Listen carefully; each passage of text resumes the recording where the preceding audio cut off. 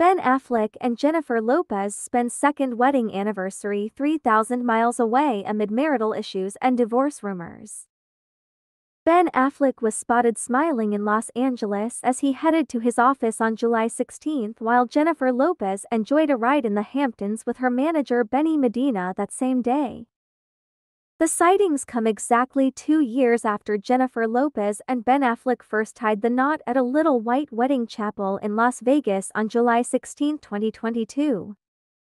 JLo and Ben Affleck said I do again in a more lavish ceremony the following month in Georgia of 2022.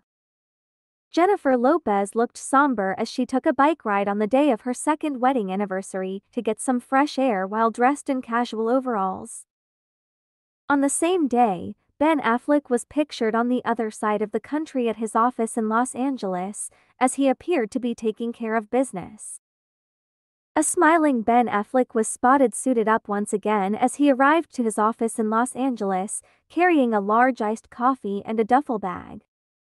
Jennifer was notably pictured wearing her wedding ring on her bike ride, after Affleck was seen sporting his band back in California on the same day.